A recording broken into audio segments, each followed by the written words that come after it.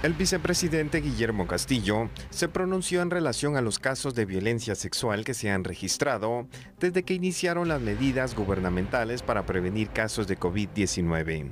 Estimados guatemaltecos, todas las medidas que hemos estado tomando para evitar el contagio del coronavirus ha implicado una serie de sacrificios que van desde lo laboral hasta lo familiar.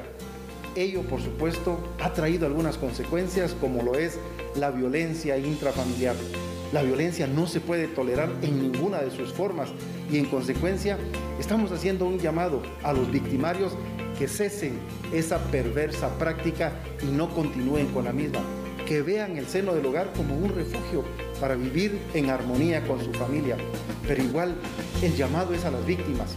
El peor enemigo de las víctimas es el silencio si ustedes no denuncian, no podemos hacer nada.